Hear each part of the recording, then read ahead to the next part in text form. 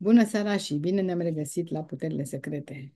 Ca de fiecare dată, marțea, ne întâlnim cu maestru Andrei Trandaf. Bună seara, maestre, mă bucur că suntem împreună și Bună seara! vreau să citesc doar câteva din uh, specializările dumneavoastră în zona asta de spiritualitate, uh, fără a uita să spun că sunteți președinte și antrenor la um, Tora Kai Iași Karate, și faceți asta din tinerețe, mi-ați povestit, ne-ați spus de când sunteți apropiat de, de artele marțiale. Sunteți maestru tibetan Reiki Ushui, sunteți maestru Atlantis Reiki, sunteți maestru Ushui Reiki grad 25, uh, Ordinul Melchisedec, uh, maestru Shambhala MHD Reiki, maestru Karuna Reiki și lista continuă, eu râdeam înainte de emisiune, dacă ar trebui să le citesc pe toate, ar trebui jumătate din emisiune să o dedic uh, acestor uh, inițieri pe care dumneavoastră le-ați făcut. Uh, șamanism, magie, acum acest Chaos Magic care s-a luat. Vreau să vă spun că îmi place, citesc. Uh, este zona care mă inspire cel mai tare pentru că nu are limite. Și până la dumneavoastră chiar nu am știut că există această zonă de Chaos Magic. Deci, maestre, astăzi avem un subiect căr- căruia cred că ar trebui să-i dedicăm câteva emisiuni, pentru că este atât de interesant și atât de necunoscut pentru noi este tărâmul lumilor paralele. Noi vorbim despre asta, nu știu, într-o zonă de visare, așa, ne imaginăm că ar exista niște lumi, că ceva este în, și se întâmplă în paralel cu viața noastră asta simplă, pământeană. Ne imaginăm atunci când cineva drag pleacă de lângă noi că a plecat într-o lume mai bună, că a plecat într-o lume de unde ne urmărește, de unde ne ocrotește. Uh, atunci când avem visuri așa mari, parcă cerem uh, ajutor unor entități din alte lumi. Cred că întotdeauna omul pământean a avut acest vis de a putea să cerceteze, dar de a putea să exploreze altceva decât este aici, sub uh, picioarele noastre. Noi, cu siguranță, suntem atât de mici încât nu cunoaștem foarte bine nici pământul pe care trăim. Dar uh, imaginația, inima noastră își dorește mai mult. Așa s-au scris cărți întregi despre Biblioteca Akasha, despre Shambhala. Se vorbește despre porți către Shambhala. Nu știm exact ce reprezintă această Shambhala, ce înseamnă Shambhala în esență. Și de la asta aș vrea să încep să ne spuneți exact ce înseamnă Shambhala, acest tărâm necunoscut pentru noi. Da, deja ați făcut, uh, mi-ați dat o, o multitudine de subiecte, nu știu care să încep. Am să încep Începem cu Șambala, da? Auzim oameni care uh, au fost în Șambala, care vin din Șambala, care și-au mesaje din Șambala. Ei, să fim totuși uh, un pic mai, mai cu picioarele pe pământ. Ideea este, uh, deci acest uh, tărâm paralel numit Șambala, uh, uh, apare prima dată în, în, uh, într-o carte a unui uh, explorator de origine rusă, Nicolas Roerich, care la sfârșitul secolului XIX călătorește în Tibet cu expediții sponsorizate de guvernul, de țarul Rusiei. Uh, bineînțeles, ei căutau resurse, căutau chestii de genul ăsta și acest Nicolas Roerich povestește că el și cu companionii săi au ajuns într-un tărâm uh, de vis, deci pătrunzând printr-un fel de peșteră din, uh, din Tibet, așa au ajuns la un tărâm de vis unde tot era luxuriant, erau niște oameni foarte înțelepți, așa, maestri, spiritual, tot felul de chestii genul ăsta. Deci a, a descris orașe care erau de aur, tot felul de uh, descrieri de astea foarte, foarte, foarte excitante. Problema este că Da, după Nicolas scuzați-mă, Roegi, și, și el vede Shambhala ca un simbol de căutare interioară. da, da, Deci, uh, uh, cum să spun, uh, uh, Shambhala este un concept mitologic, spiritual. Nu cred că a fost cineva cu piciorușele așa să calce pe un alt pe acest tărâm care se cheamă Shambhala. Fizic. uh, Nicolas Roegi susține că a ajuns și fizic, el fiind în bine, în fine. Dar este singura persoană care a susținut vreodată chestia asta.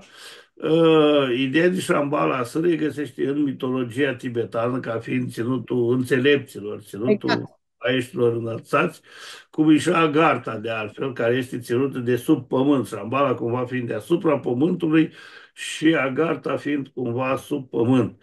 Uh, tot la fel o lume, de, o lume mitologică unde locuiesc eroi, unde locuiesc zei. Uh, Problema cea mare este că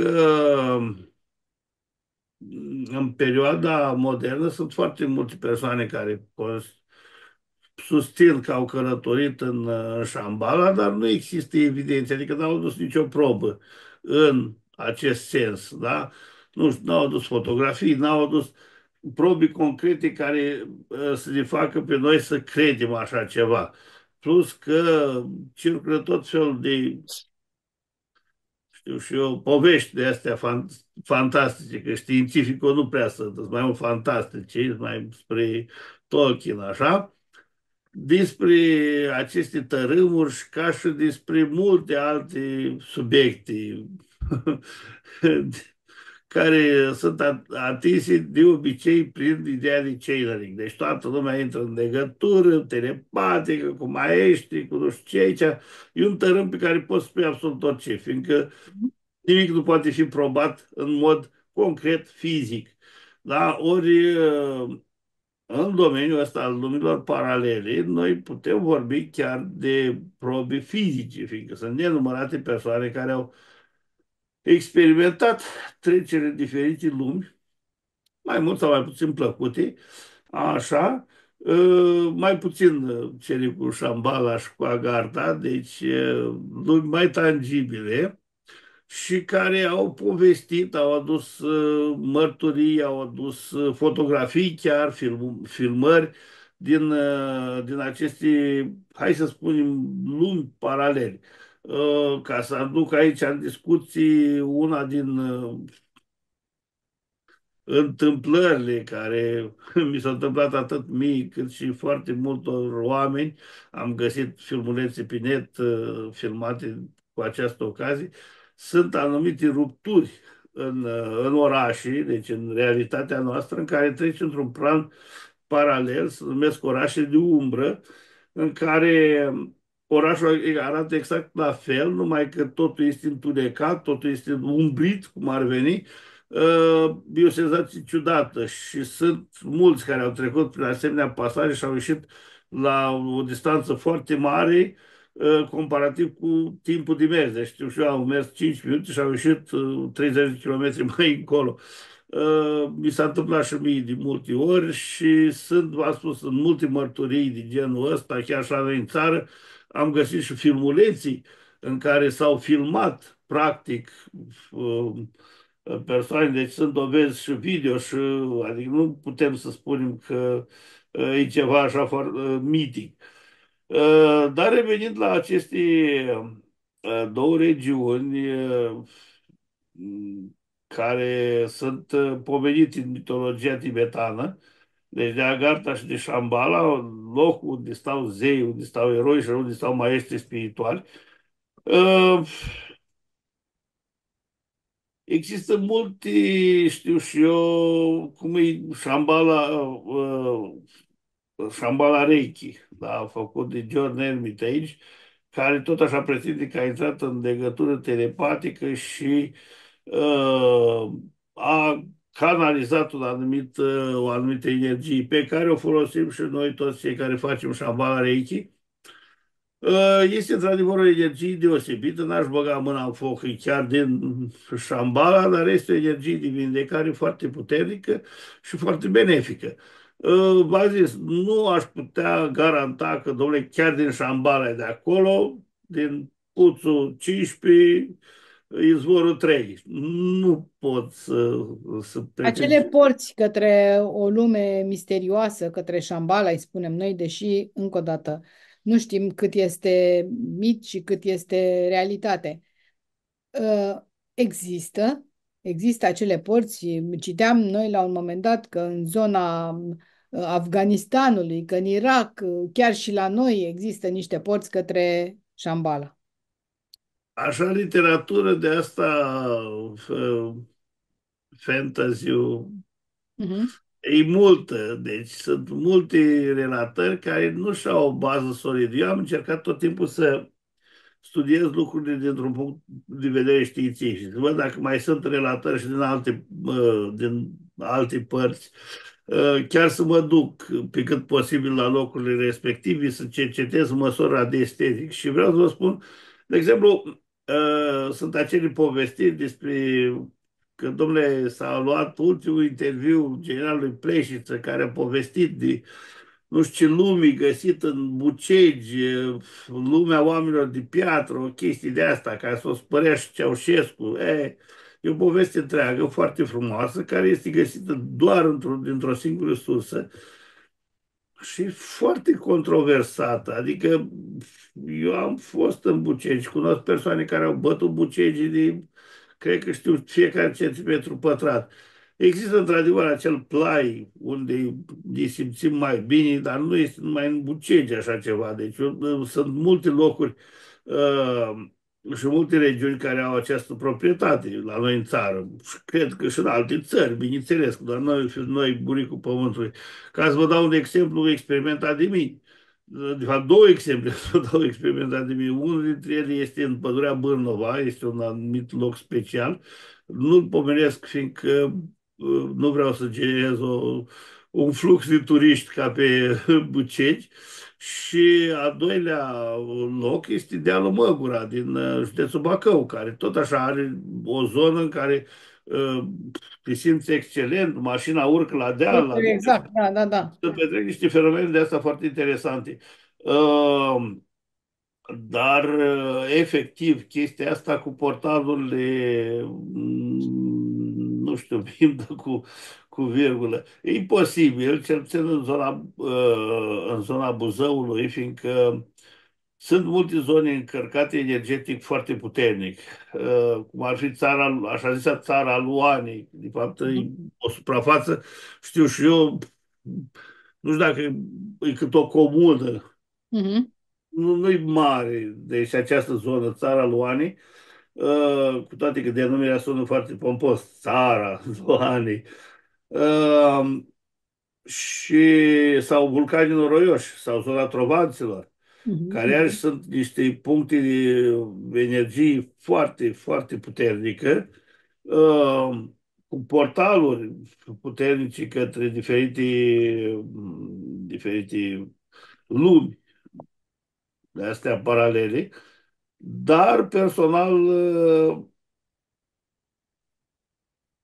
nu am uh, găsit ceva concret, adică care să spună că, da, domnule, uite, acolo este în plus, uh, sunt într-adevăr tot felul de relatări de astea, fotografii pe net, bineînțeles, acum cu AI-ul și cu uh, uneltele pe care le avem de trucaj, uh, pot fi făcut practic absolut tot ce fotografii. Deci... Asta este perfect adevărat, dar atunci când vorbim așa cu picioarele pe pământ, când vorbim despre acest uh, concept, despre portaluri, ne referim doar la experiența profundă meditativă, pentru că este singurul loc, singurul fel în care oamenii au putut să acceseze aceste portale. Da, N-a da, venit nimeni da, să spună, da. am fost acolo.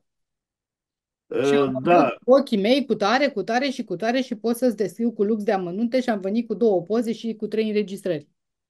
există, uh, uh, deci ca să putem accesa aceste lumi paralele, aceste lumi spirituale, avem două posibilități marșlate, testate și verificate. Unul la mână meditația, cum a spus dumneavoastră, meditația profundă și doi la mână visul. Sigur. Deci să nu uităm că în vis, mai ales dacă putem să ne controlăm visele, așa și există 11.000 de metode de antrenament pentru a ne putea uh, controla visele, putem să intrăm în uh, asemenea lumi paralele, să căpătăm informații de acolo și să ne întoarcem înapoi. Sigur. În fizic, v-am spus, Putem în, vorbi chiar despre visul conștient, despre revelații, da, da, vorbim da, despre da. călcarea cu piciorul fizic acolo, într-o zonă. Călcarea cu piciorul fizic uh, nu știu, eu nu cred că este posibil. Deci eu nu cred, în niciun caz nu există români care să fie călcați fizic. Deci, de fapt, în afară de acest Nicolas Roerich, nu există persoane care să pretindă la un mod, bine, în afară de escroci. Că Așa, cum zic, eu cred că și în Golești, așa, în, în satul unde am eu moșii, ar fi vreo 5-6 care au fost prin Șambala. Așa, na, ca să, la nivel de pretins, cred că sunt mulți. Dar fizic vorbind, uh, doar acest Nicolas Roer a pretins, nu să știi dacă chiar așa a fost, dar a pretins că el a ajuns, uh, a ajuns acolo. De exemplu, Gurgif are la un moment dat, uh, povestește despre niște mănăstiri care datează de 26.000 de ani, Uh, și aceste mănăstiri s-au făcut chiar, uh, chiar uh, de astea documentare. Sunt documentare pe YouTube.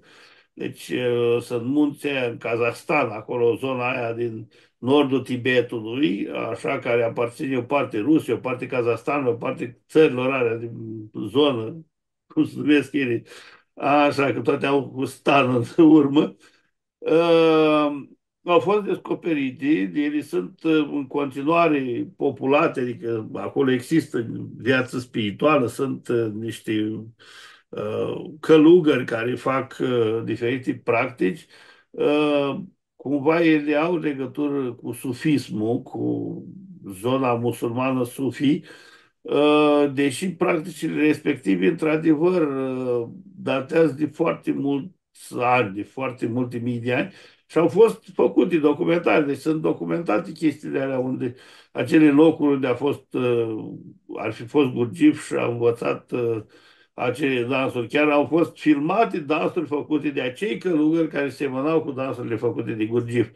Uh, Deci avem, o probă, conc- avem probe palpabile, concrete.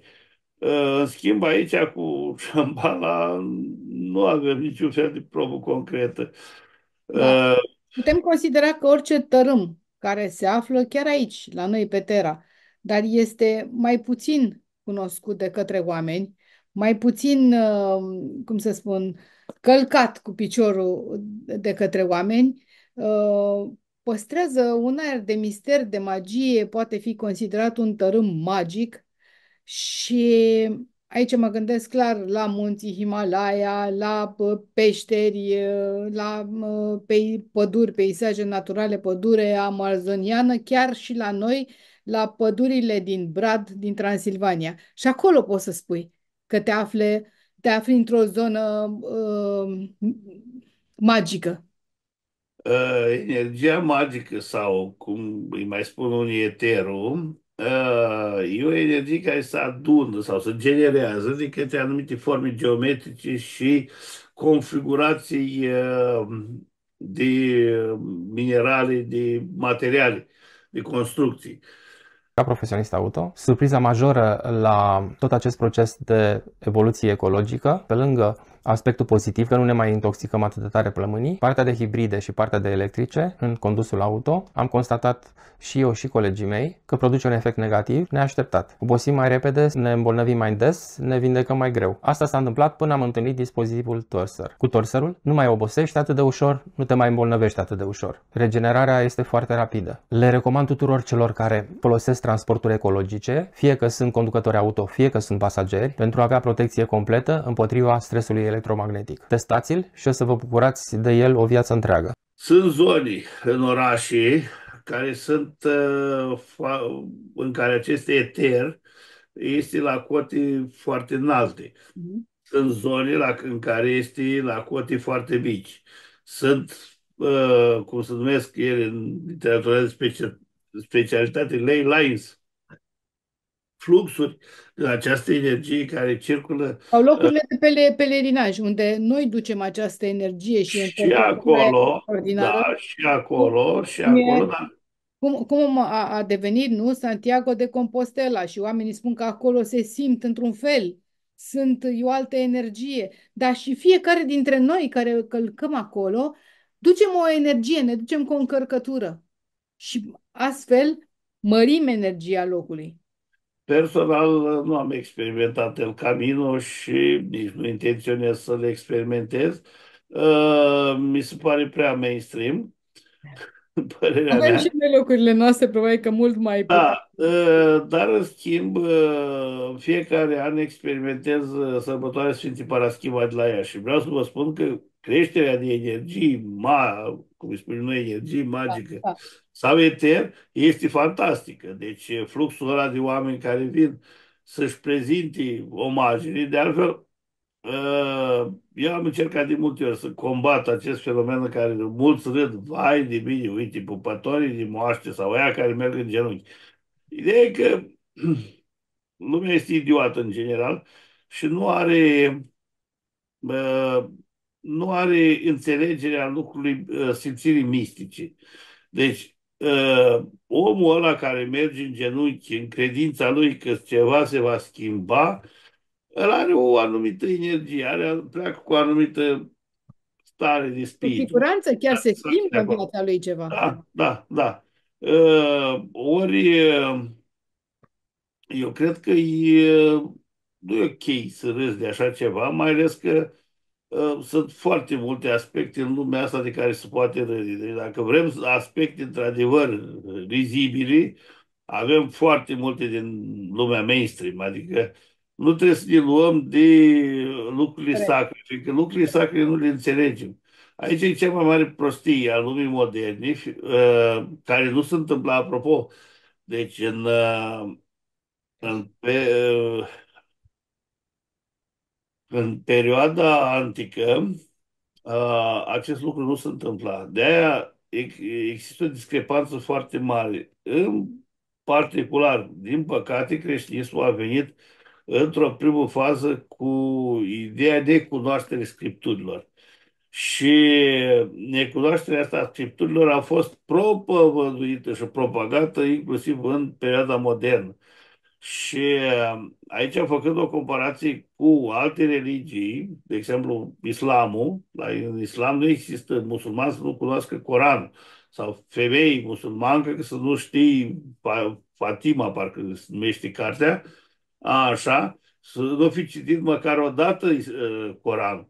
Uh, la noi, dacă nici Evanghelii, cred că nici preoții nu citesc Evanghelie și Biblia în integralitatea ei. Deci am întâlnit preoți care uh, i-am putut combate foarte ușor în diferite prostii care le spuneau, citându-le din Vechiul Testament și arătându-le citatul, efectiv, să uitau ca curcan lemnii. Deci, uh, din păcate, în creștinism, creștinismul a adus cu el chestia asta, necunoașterea Scripturilor. Necunoașterea Scripturilor duce la o lipsă de profunzimi în Uh, în înțelegerea lumii în general. Fiindcă trăirea mistică, dimensiunea mistică este o, uh, o hrană necesară omului și spiritului uman. Uh, de-aia omul în, prin alte părți, omul este are o anumită așezare. Da? Deci acum nu vreau să comentez că nu știu cât sălbatici, cât săraci, că suntem noi mai bogați. E vorba despre o anumită așezare, despre o anumită privire pe care o au uh, uh, pe care o au asupra vieții. Da? Ori uh, la noi se vede clar că luând experiența asta mistică și persiflând-o, uh, efectiv, uh, aruncarea asta în, în materialitate ne face foarte mult rău.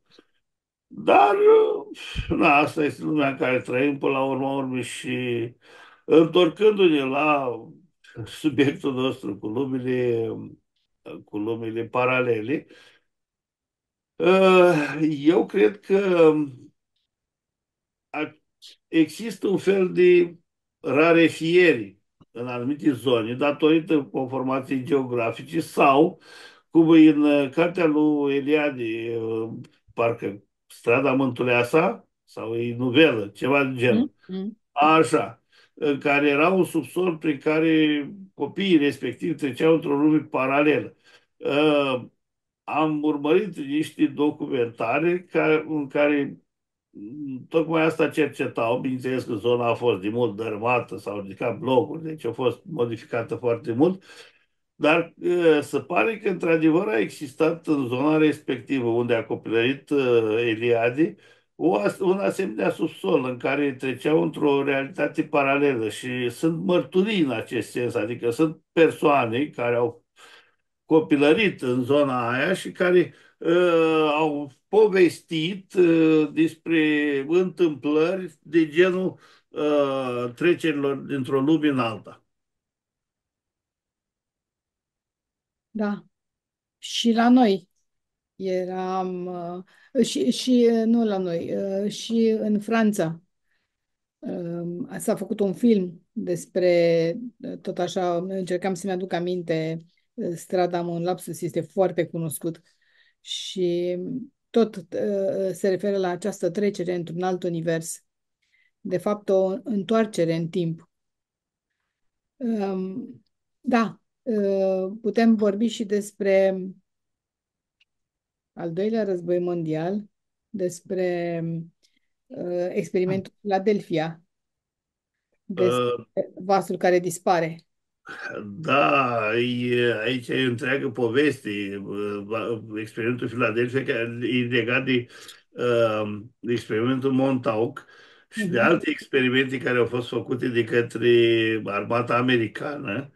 Și, bineînțeles, acum, cât e propagandă, fiindcă vă dați seama la chestia asta de informații militare, mai scap, ă, ei mai scapă controlat niște laude de astea în ideea lui Sun Tzu, că laude-te cu armele, super armele pe care le ai ca vrăjmașul să fie, să fie înfricoșat. Dar eu cred că o parte sunt și reale. Iar chestia asta cu experimentul Philadelphia este real fiindcă a fost văzut de mii de persoane, adică sunt mii de persoane care atestă. Deci nava era în rada unui port. Mm-hmm. În portul respectiv erau foarte multe persoane deci au, care au văzut fizic cum au, cum au dispărut respectivul distrugător. Așa, tot la fel în 1984, când a, a apărut în rada portului New York, tot la fel a fost fotografia, deci erau mii de oameni acolo, era promenadă, deci nu Era acea, acea poveste despre avionul care pleacă și bă, revine după 40 de ani, călătorii erau la vârsta la care au plecat în urmă cu 40 de ani. Da, să știți că sunt foarte film. multe, sunt da. multe povestiri de genul ăsta, de treceri din, uh, dintr-o lume în alta. Eu cred că sunt uh, foarte posibile și plauzibile și ce mai cred este că noi trăim într-o lume ca un fel de, uh, știți cum foi de la ceapă, cu mai multe layeri, de înțelegere de... și sunt convins că există persoane care pleacă dimineața de acasă, își pupă nevasta și copiii, se urcă în mașină, se duce într-o anumită clădire, coboară la minus 50 Așa, și trece printr-un portal pe Sirius, pe Pleiade, nu știu, face contabilitatea la niște extraterestri, se întoarce înapoi prin da. traficul din București, în jur, în stânga, în jur, în dreapta. Dar sunt la fel de, cum să spun, controlabile ca și channeling că tot am zis că ne referim și la channeling, pentru că mulți oameni atunci când nu au, uh, nu știu să-și explice uh, poveștile pe care ni le descriu, spun, domne, am aflat asta prin channeling și tu nu ai cum să combați acest lucru, pentru că, na, fiecare își imaginează ce vrea. Da, eu am suspiciunile mele foarte serioase referitor la channeling. În primul și în primul rând, channeling serios, deci ieșirea în astral presupune foarte multe primejdii. Uh, cunosc persoane care au luat-o, cum spunem noi, prin popșoi, așa, uh, și care au, sunt sub tratament psihiatric real, fiindcă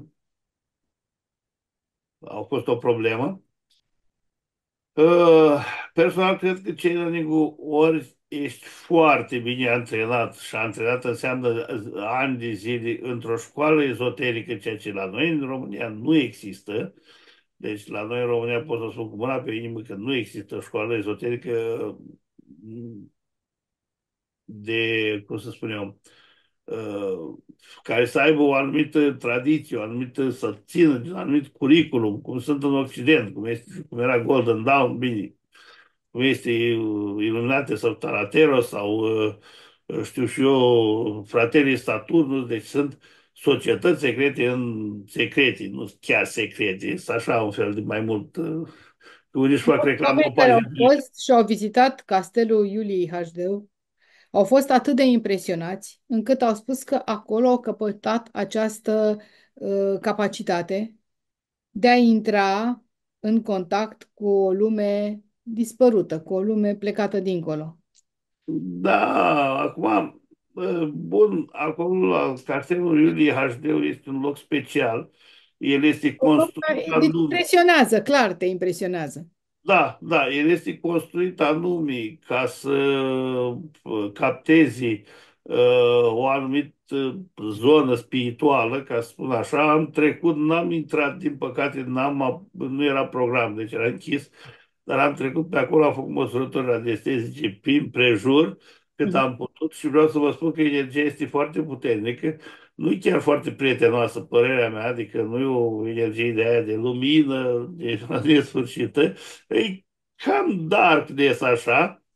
Ă, de asemenea, am vizitat și mormântul Ilie HD, care și el emită o anumită energie specială. Acum, ă, ca să termin faza cu channeling-ul, ă, eu consider că channeling este foarte periculos și poate să ducă foarte ușor la nebunii sau la posesii.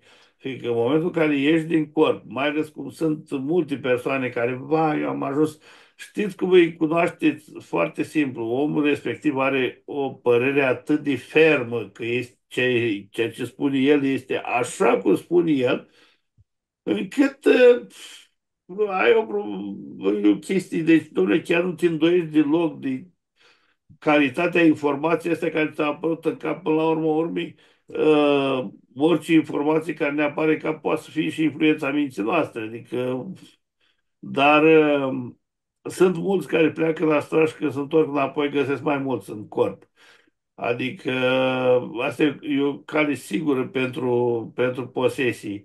Eu nu recomand channeling nici nu pun bază pe channeling, mai ales cum sunt uh, tot felul de personaje, atât la noi în țară, cât și în exterior, cu convorbiri cu extraterestri, cu pleiadienii, cu armata galaxiei, tot felul de mm, chestii astea dăstrușnice, uh, care definitiv și la ora nu există decât în capul lor.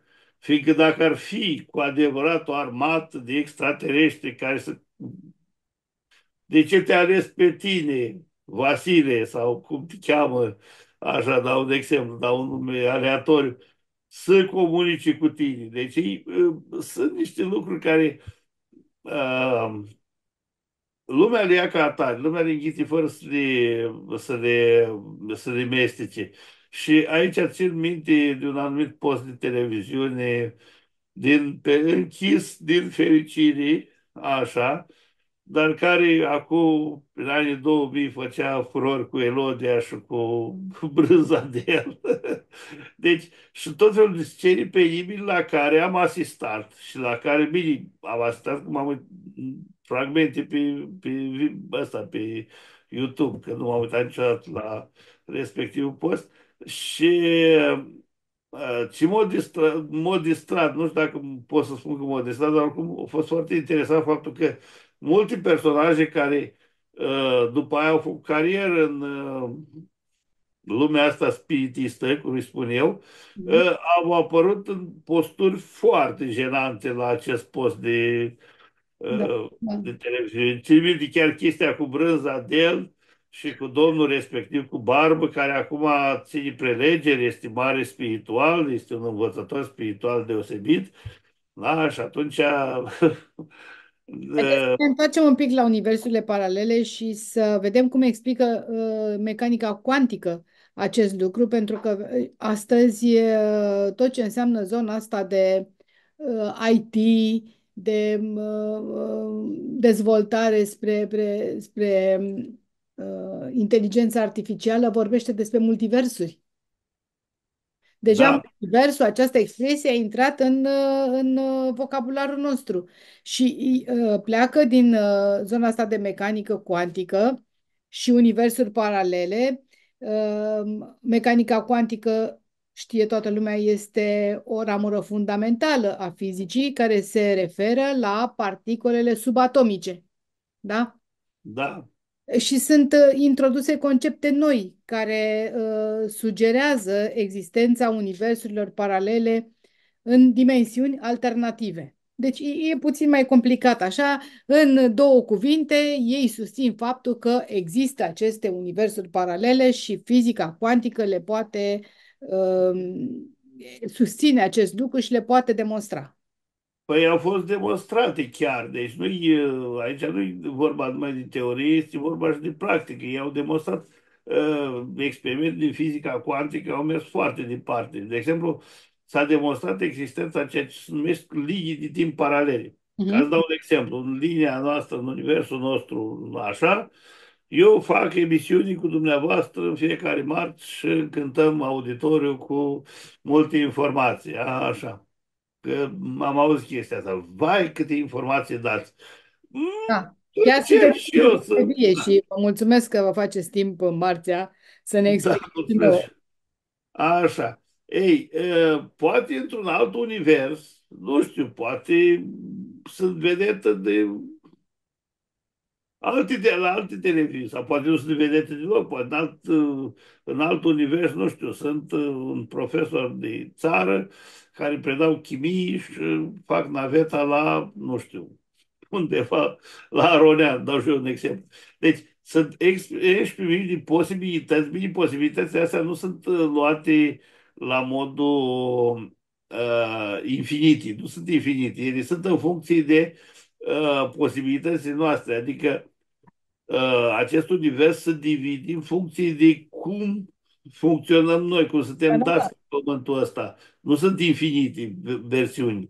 Ei, aceste linii temporale, ci că la un moment dat putem să sărim, adică să încrucișăm așa și să luăm pe o altă linie temporală. Și uh, mii mi s-au întâmplat multe, de fapt, uh, nu chestii neapărat de întâmplări, cât mai ales de informații. Adică unele lucruri pe care le știam eu din trecut nu mai sunt așa, dar acest fenomen care sunt general la modul uh, se numește efectul Mandela, uh-huh. uh, putem să-l vedem, nu este explicat, deci nu este explicat, în afară de acest uh, mecanica cuantică le explică într-adevăr prin uh, saltul de la o linie uh, de timp la alta, dar uh, efectul Mandela l-am simțit și eu pe pielea mea, adică sunt lucruri pe care eu le știam într-un fel și ele, uh, a, sunt altfel acum. Uh, ca să vă dau un mic exemplu, este aceea scenă din uh, Star Wars, din întoarcerea lui, în, întoarcerea, nu, din Imperiul Contraatacă, pardon, în care se bate Luke Skywalker cu Darth Vader și ăsta îi taie mâna în fine și era la un moment dat spăzurat Luke de, o, de un pasarelă și vine Darth Vader și îi întinde mâna și îi spune vino așa că împreună cu mine vom cuceri galaxia. Și Luke, în fine, are loc un dialog, dar un lucru esențial. Uh, la un moment dat, Vader îi Uh, în fine, Luke îi zice că tatăl lui a fost omorât, nu știu ce și nu știu cum, la care Vader îi spune, în versiunea mea, uh-huh. nu, eu sunt tatăl meu, no, I'm your father. Ei, în versiunea modernă, ca să zic așa, uh, în această linie temporală, fiindcă s-au, s-au desigilat casete video sigilate, în 1977, când s-a făcut video, uh, filmul. Uh-huh. Și versiunea asta a doua, în care deci, uh, uh, era în prima, no, I'm your father, în asta nu mai știu cum e, uh, am pres- e, e un pic diferit, dar e diferit destul de mult. Adică sună oricum diferit. Ori uh, versiunea aia, eu în perioada respectivă, na, fiind puștan de liceu, Uh, cred că m-am dus de două ori pe zi la filmul ăsta. Adică l-am văzut două săptămâni cât ori la Republica la Iași. M-am dus de două ori pe zi, cu chiulem la școală și mă duceam la... Atât de mult mi-a plăcut. Ajunsesc să învăț aproape replicile pe de, pe de rost. Uh, deci țin minte, dar nu sunt singura persoană, deci suntem foarte mulți. Ori uh, acest efect Mandela ne arată clar că ceva undeva s-a modificat și ceva, adică uh, am sărit de pe o linie temporală în care noi știam lucrurile într-un anumit fel, s-a sărit pe o altă linie temporală. A, e, asta este o explicație. Altă explicație ar fi că cineva s-a întors în trecut și a lăsat mici firmituri, ca să spun așa.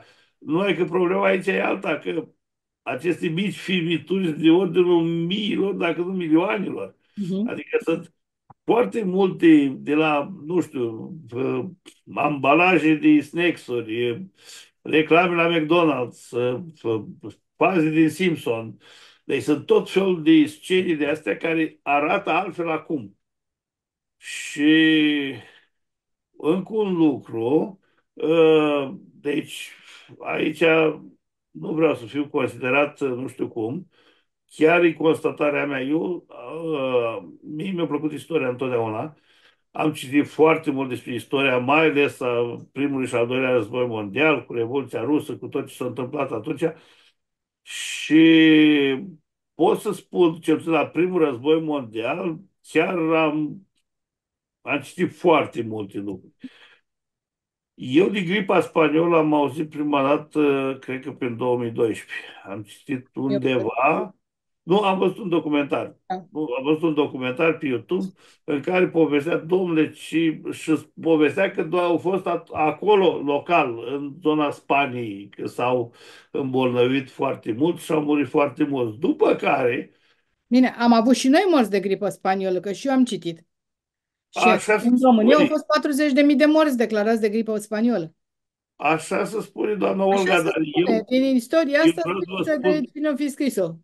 Prima dată când am auzit de așa ceva, deci prima și prima dată, a fost în 2012 sau 2013, în zona asta, uh, pe YouTube. Țin minte foarte bine și am rămas foarte contrariat. Cum adică?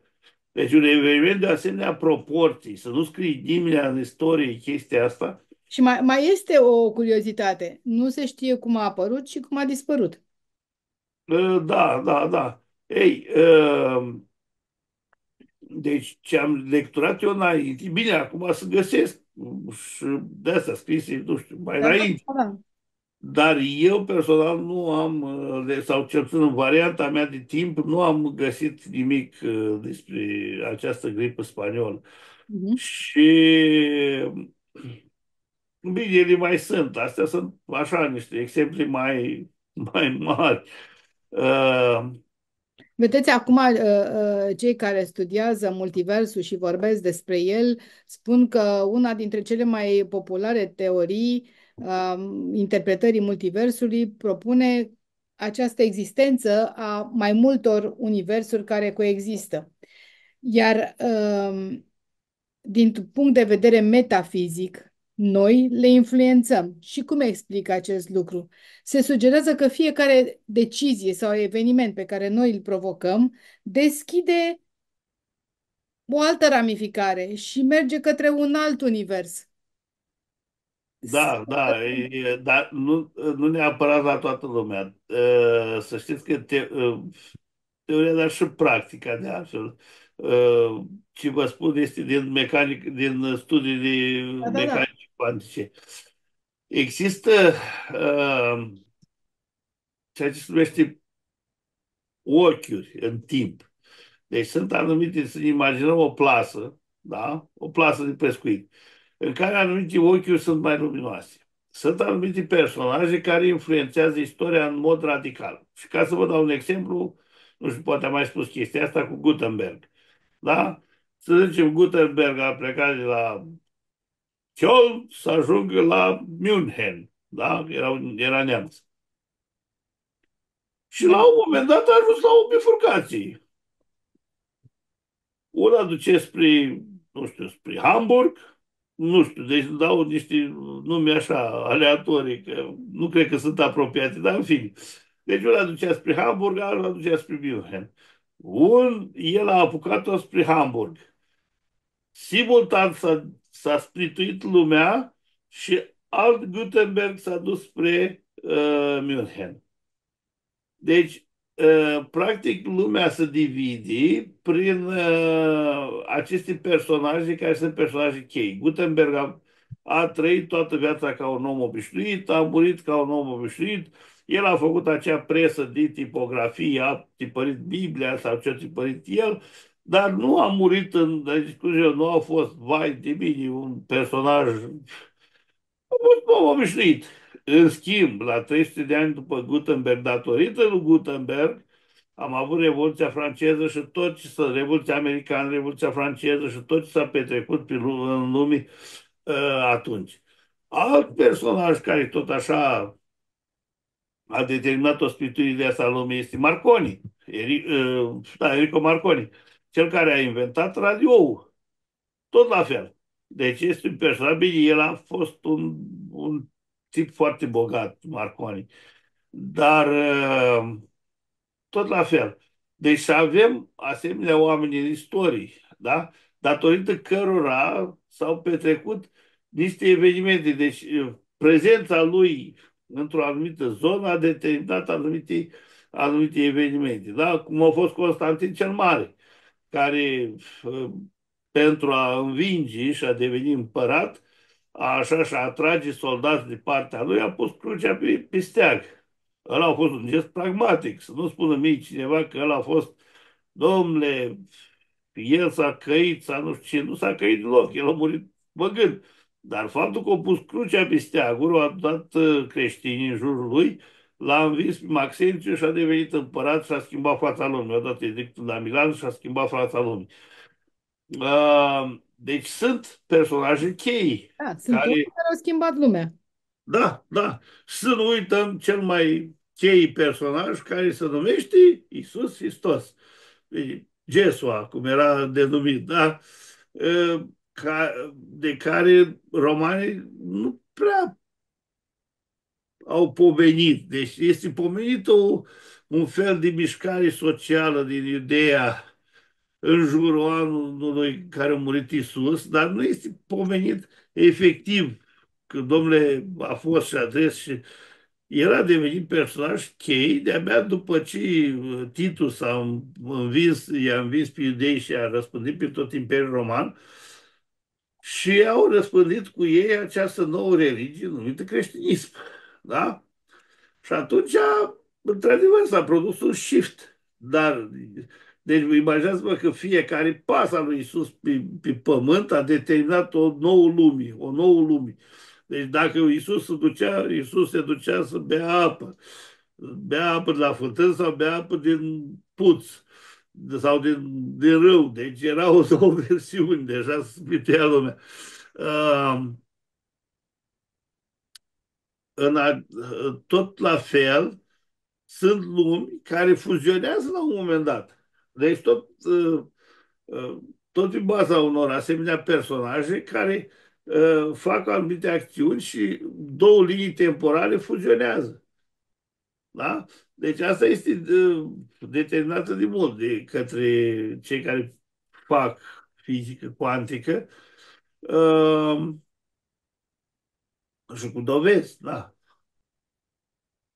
Da, vreau să întreb dacă astăzi ne aflăm la capătul unui drum, ă, la o răscruce de drumuri în care alegerea noastră va fi determinantă dacă mergem mai departe sau încheiem existența noastră pe pământ. Din punctul meu de vedere, uh, semnele nu sunt chiar așa de bune. Știu că sunt tot felul de personaje care susțin că primesc mesaje și cu pălările albe și că vine extraterestri. Eu zic că toate astea sunt, de fapt, și de niște povești frumoase uh, care să ne adoarmă mai mult, fiindcă ar trebui să fim mult mai vigilenți, mult mai trei spiritual.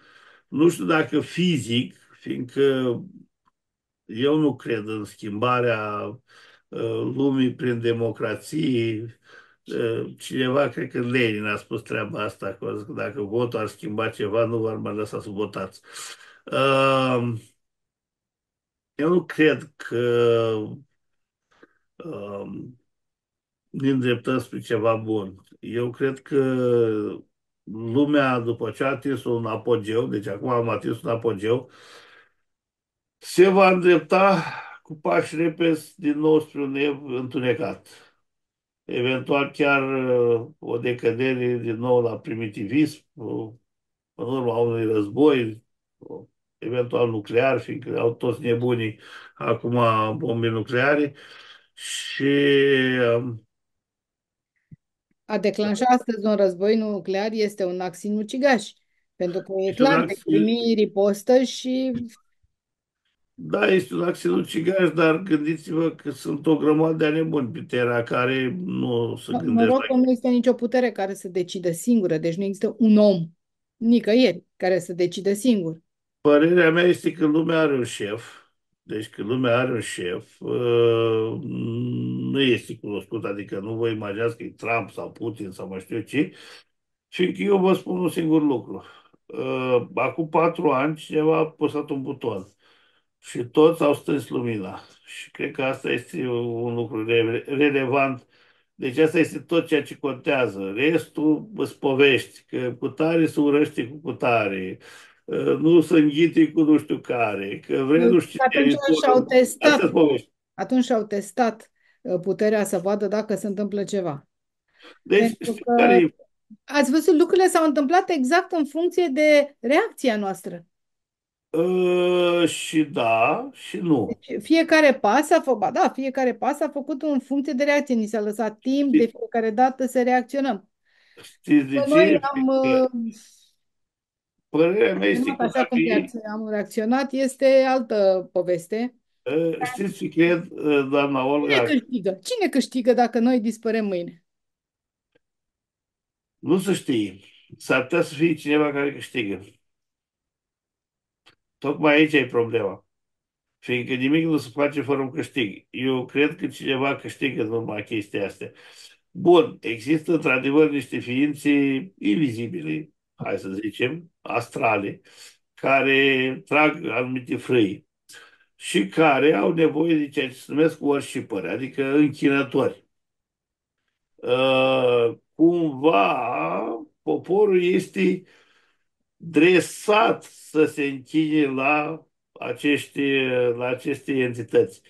Uh, din fericire, fiindcă, așa cum spune teoria Chaos Magic, nu se poate prevede un, uh, un sistem, deci nu, poate, uh, cum zic, nu se poate anticipa uh, evoluția unui sistem în timp din cauza un, uh, a ceea ce se numesc uh, mici uh, întâmplări neprevăzute. Și acest, uh, cum să zic eu, uh, și acest sistem, de ce l-a mai primit lovituri, a mai făcut uh, stânga-dreapta, dar uh, să știți că el se adaptează, din păcate se adaptează și uh, de-aia este necesar, de-aia este necesar ca oamenii să se trezească spiritual și să antreneze spiritual. Fiindcă în momentul în care uh, vor fi mulți oameni care vor putea să facă ceva energetic, nu contează că ăla, știi, nu știu, are inițiere Reiki 1, 2, 3 și poate să-și facă doar autotratamentul. Da, dar el este mult mai sus energetic decât unul care nu are inițieri, nicio inițieri. Uh, și aici vin să fac o paranteză, de aia Reiki este foarte, foarte necesar și de aia au venit așa de multe sisteme Reiki și cel puțin la noi în țară suntem, cred că, țara cu cei mai mulți maestri Reiki pe pământ, asta real vorbind, uh, fiindcă noi, la noi s-a răspândit Reiki foarte, foarte puternic, asta aduce lumină pe pământ, asta lumina îi deranjează. Cu cât vom fi mai mulți care aducem lumină pe pământ, chiar disparați, fiindcă știți aia cu adunarea, să ne adunăm împreună și să facem ceva, mie mi se pare o mare utopie, fiindcă nu putem, nu suntem nici ca rasă, nici ca, ca nimic. Adică dacă vedeți că toți liderii ăștia care au fost carismatici, care au strâns oameni din urma lor, au avut scheleții lor în dulap, uneori chiar armate de scheleți. Foarte mult speră și știți și dumneavoastră la o a doua venire a lui Isus care ne, să ne salveze. Uh, credeți într-o a doua venire uh, fizică, da? Nu. Pentru că Isus fizic a fost pe pământ. Uh, nu cred și să vă spun și de ce. Chestia asta cu uh, cineva să ne salveze e dată de imaturitatea minții umane.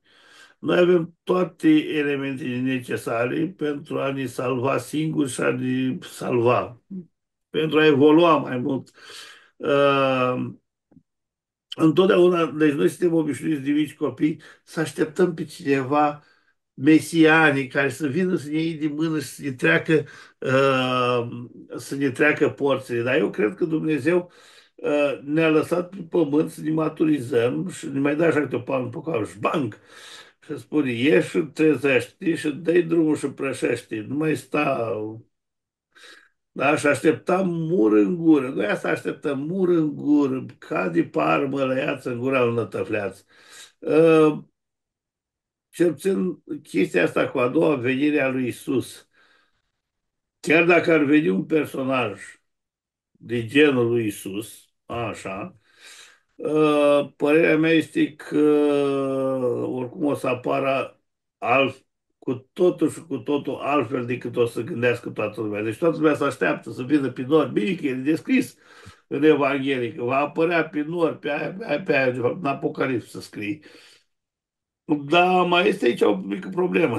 Apocalipsa lui Ioan este scrisă la sfârșitul secolului 1, început secolul 2 era noastră, în insula Cipru, este chiar și o mănăstire acolo unde a fost uh, revelația lui Ioan.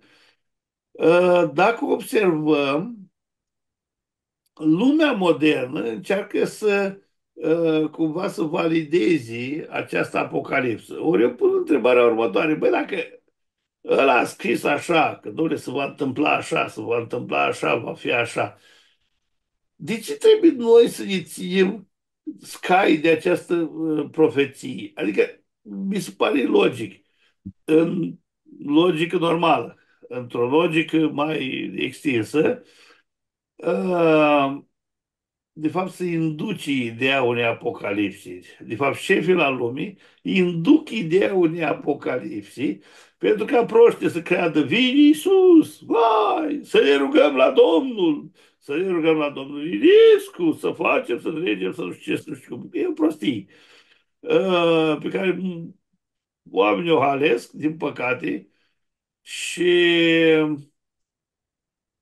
uh, în fine, nu o să duc la nimic bun, fiindcă se vede clar, adică chestia cu și o să-ți pună pe mână semnul 666 și erau acele ștampile care ți le pune dacă erai, uh, erai uh, într-un anumit fel, da, cu vreo câțiva ani, dacă îți făceai o anumită chestie medicală, și îți puneau ștampile pe mână. Și aia conținea o chestie foarte evidentă de 666.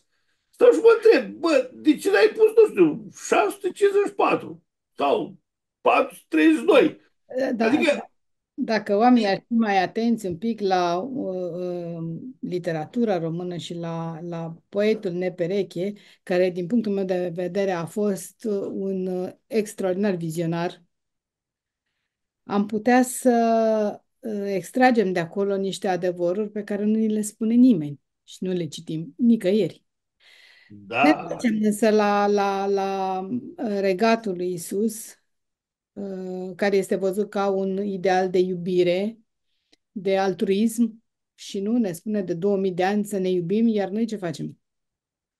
Păi aici e problemul, doamna Olga, Iisus nu spune niciodată să ne iubim. Noi spunem că suntem creștini, că suntem... Uh, stați un pic, ca să spun niște Dumnezeu. Am să spun niște lucruri șocante. Iisus nu a spus niciodată să ne iubim. Iisus a spus așa, eu nu am venit să, să stric legea veche, eu am venit să împlinesc legea veche. Legea veche care era legea talionului ochi pentru ochi și dinte pentru dinte.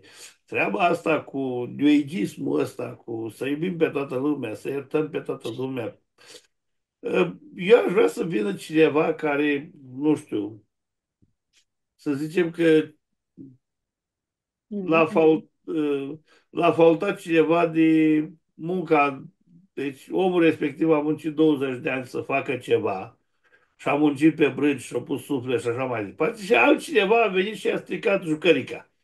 Și aș vrea să-l văd pe ăla care i-a fost stricată jucărica, să vină să spună senin, da, l-am iertat pe cutare, îl îmbrățișez ca pe un frate. nu cred lucrul ăsta. Deci nu este, dar nu se vede practic. Adică ă, v-am spus, aș vrea să-l văd, să-l văd, să-l pipă și să spun, domnule, există. În afară de săraci oameni aia care au pătimit în închisorile comuniste, care aia chiar au fost niște sfinți. Adică chiar au fost și sfinți Valeriu Gafencu și cei care au fost în închisorile astea comuniste. Deci aia chiar au fost niște, niște oameni deosebiți. Dar ei credeau în treaba asta, credeau în iertare, credeau... Dar hai să vedem la marea masă a populației. Se aplică treaba asta? Păi nu se aplică și am să vă spun și de ce. Fiindcă nu este practică. Ca să ajungi la o asemenea uh, la o asemenea culmi spirituală îți trebuiește niște, în primul rând, o cunoaștere foarte profundă, dar o cunoaștere foarte profundă care să fie, uh, cum să zic eu, nu cum e acum. Acum toți intelectualii umblau cu mască pe stradă și își puneau de aia cu am făcut uh, la la la. Uh, nu, să fii intelectual cu adevărat. Deci cum erau ăia din vechimii. Da? cu cultură adevărată, oameni care citeau, oameni care au ajuns, chiar dacă au ajuns din țărani, au ajuns profesori universitari, dar era profesor universitar, nu s-a dus cu cașul să deschidă ușa, cum se spunea că a făcut bătături în frunte de la Sacoș și la așa, da, pe vremea lui Ceaușescu, ca să devină profesor universitar academician, fiindcă toți sunt urmași la ăștia. Adică nu sunt... Uh... Ei, ori, acum să ne întoarcem la, la Isus. Isus a spus, eu am venit să aduc sabia. Și oare de ce am venit să aduc sabia? Fiindcă învățătura lui Isus uh, nu este să ne iubim, să ne facem, să ne trecem. Da, are niște componente, dar dacă ne uităm cu atenție, nu e vorba de o iertare de asta v-a spus, hipiotică, nu există. Deci este vorba de un anumit tip de iertare, de un anumit tip de atitudine. Să nu uităm că Isus i-a alungat cu biciu pe cei care uh, zarafii din, din templu. Da? Și învățătură tragem aici, că nu trebuie să fii uh, moare așa, să nu reacționezi la nimic, să nu. Trebuie să reacționezi, uh, să combați rău, fiindcă rău triumfă doar prin faptul că oamenii care ar putea să-l combată sunt pasivi. Deci aici e problema cea mare și sunt pasivi, le este adormit în mintea. Așa se spune că lumea nu va fi distrusă de oamenii rei, ci de oamenii care nu fac nimic. Exact, exact. Fiindcă mintea acelor oameni care ar putea să facă ceva este distrusă tocmai de aceste, uh, știu și eu, Mai este, am o singură întrebare la care o să vă să răspundeți, scuz că deja am depășit ora și uh, trebuie să-mi faceți și promisiunea că săptămâna viitoare continuăm subiectul pentru că avem Promit. foarte multe de vorbit. Regatul meu nu este din lumea aceasta, spune Isus. La ce se da.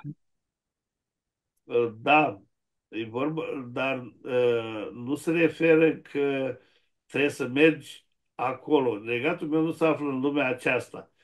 Uh, regatul lui este vorba despre o lume spirituală. Exact. Dar noi putem să fim pe pământ foarte bine și în lumea asta spirituală. Adică să trăim în spirit, să trăim în Isus, să trăim în Hristos, cum, să, cum a fost interpretat mai, mai apoi. Uh, de fapt, esența învățăturilor lui Isus Hristos este să faci ca El.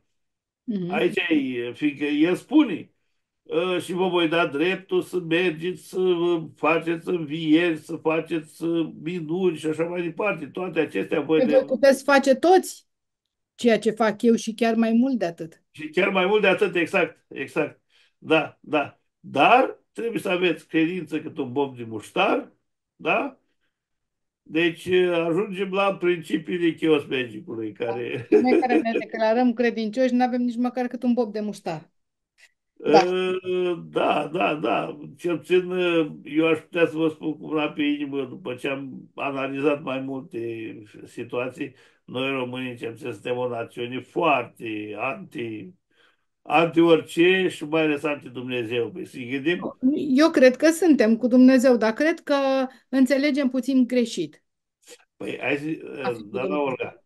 Deci, compară, deci nu zic că ei sunt buni. În niciun caz nu zic. Tocmai că aici eu nu vreau să, să lărgim discuția, fiindcă nu-i, cum să eu, e, uh, comparări între religii și nu e ok. Mm-hmm. Dar sunt religii care numele Dumnezeu îl pronunță tot timpul și la dâns nici măcar nu-i treci prin cap să spună o înjurătură de lucruri sfinte. La noi toți înjurăm de lucruri sfinte, fiindcă asta este. Dar uh, sunt, v-am spus, și asta e în ADN-ul nostru, deci să ținem cont de treaba asta. Lucru care să știți că nu se întâmplă la alte popoare, chiar ortodoxe.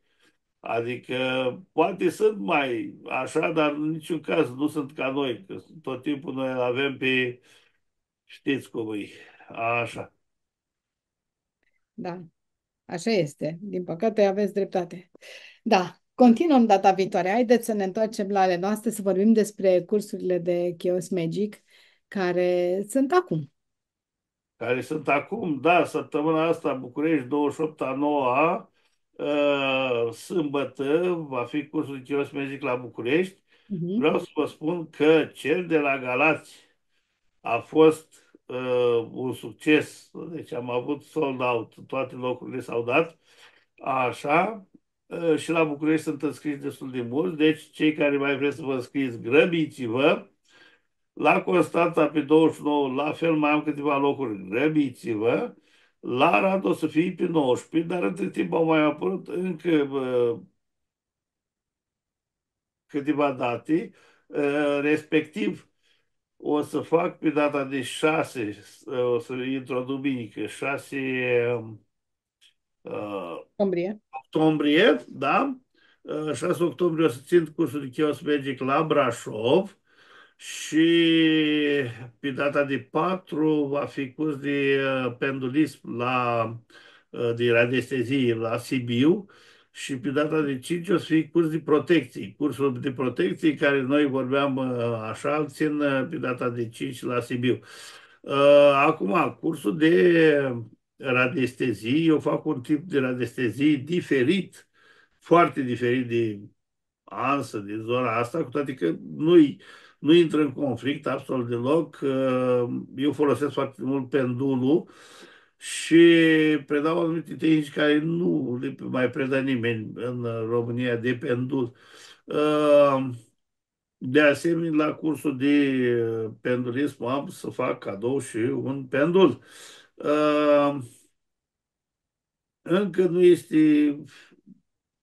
sigur tot așa în perioada rost anul ulterior cursurile de la Topița, de la Iași, uh, fiindcă nu a fost pe 19, l-am amânat după festivalul ezoteric care o să țin acum, așa, am conferință vineri, și am zis ca să-l uh, țin după conferință.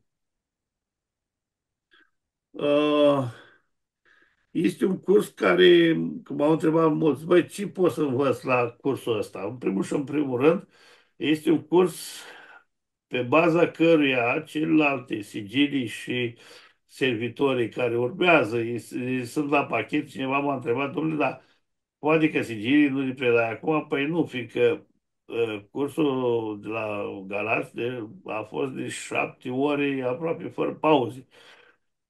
Uh, este foarte mult uh, materie. Voi preda atât bazele teoretice cât și uh, divinația, mai multe tehnici de divinație absolut inedite, care nu le-ați mai întâlnit.